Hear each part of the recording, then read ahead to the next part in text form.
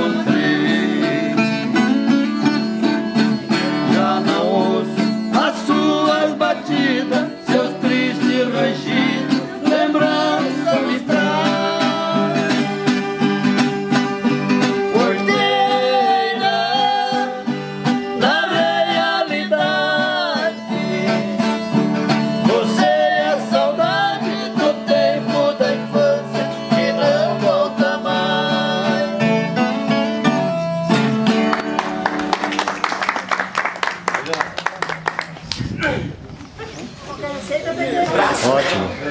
E hoje fez questão de manter. Eu acho que é isso. Eu que o bolinho.